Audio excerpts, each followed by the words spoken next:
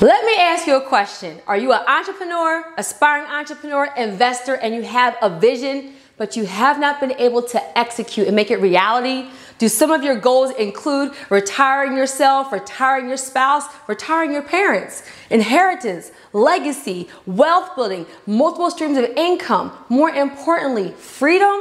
If that sounds like you, if you answer yes to any of those items, I want to invite you to apply for Elite 10 group coaching, guys. And it is exactly how it sounds, only for the elite. Guys, I only accept 10 entrepreneurs, aspiring entrepreneurs, or investors at a time. And the program is for 10 weeks of group coaching with me directly. But included in those 10 weeks, guys, you get a DISC assessment, a meeting with my financial advisor, a 30 minute strategy session with me directly, and two guests. But more importantly, you're learning from somebody that is not teaching you theory.